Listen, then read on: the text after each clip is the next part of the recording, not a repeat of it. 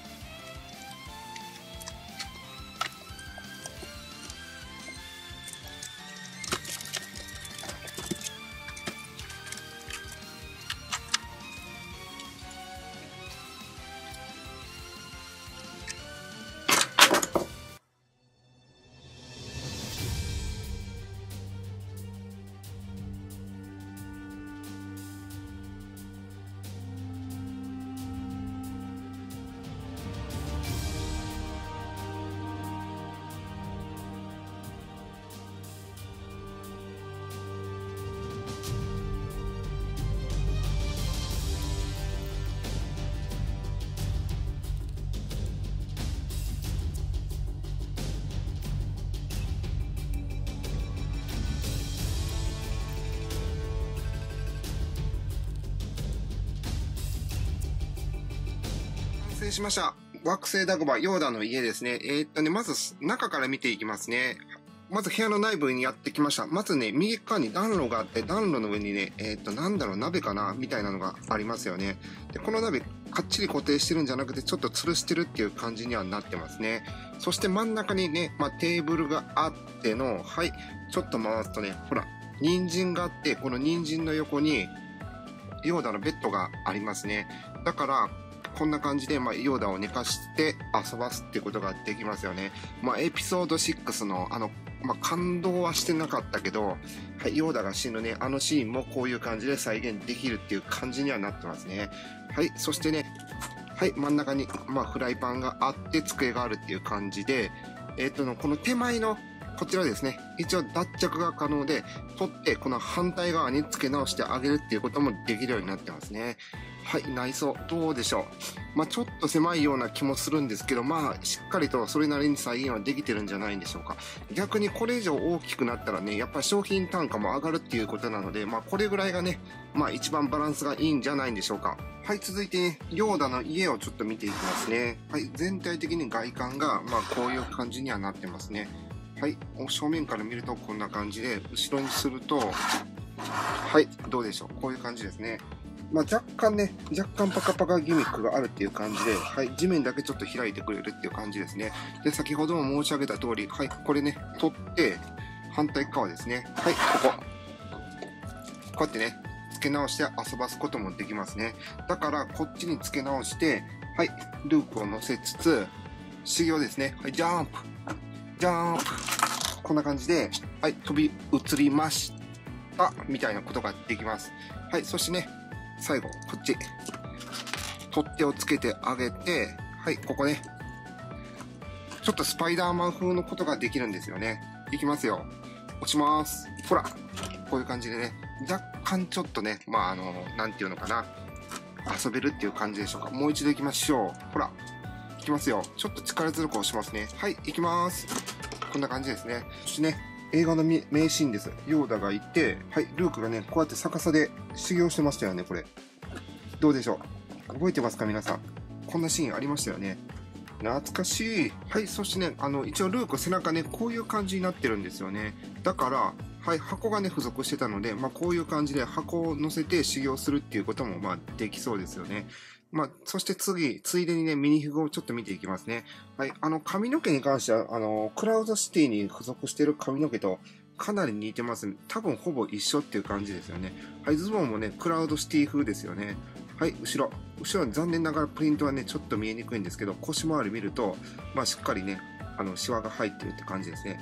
で、エピソード5なので、タンクトップを着てたんですよね。だからこれタンクトップですね。はい、そしてね、ヨーダ。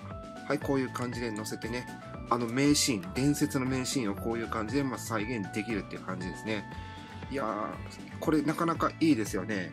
そして、続いてね、惑星ダグバのヨーダをクローンウォーズのヨーダとちょっと比較していきます。